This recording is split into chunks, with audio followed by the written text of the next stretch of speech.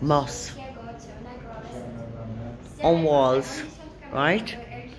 So just in case you don't know, in the world we live in, there was a man on, um, what's it called? Dragon's Den, Chinese.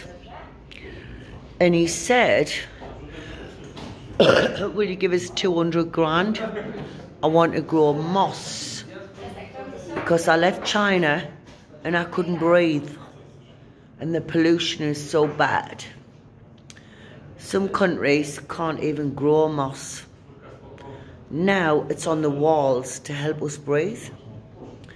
You might not believe that, like, but the guy who was knocked back on Dragon's Chinese man, is now a multi-millionaire. We're in the smokehouse. What a good idea. That's what I should do with my empties. It would save the recycling bin, wouldn't it? Isn't that amazing?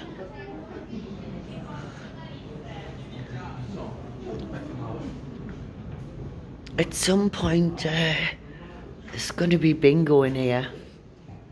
We're in the smoke. Here's the menu. Can you see that?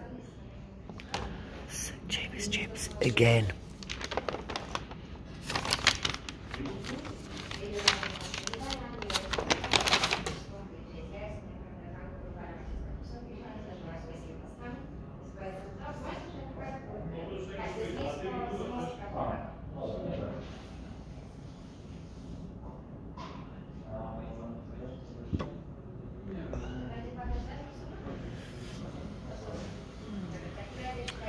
We've had a busy week and they actually shut on a Monday. It's now Tuesday. And tonight we've been invited here for the bingo, but uh, it's it's in Polish and I, I, I don't know if the numbers is going to be the same, like. But I've just been told they're going to be shouting the numbers out in Polish. This should be fun. Winner, winner, chicken dinner. Should be funny because um, we can't speak Polish and we can't we we don't know the numbers. So without a TV with the numbers on, eh, how we gonna know what the number is? Should be fun though. We're gonna give it a go, but you know what I can't get over? The moss has made it to Poland. Why did the moss not make it to England? Because England are backward. The trees give us oxygen. The moss helps us breathe. Did you know that? Why do you think the Chinese man is now a billionaire?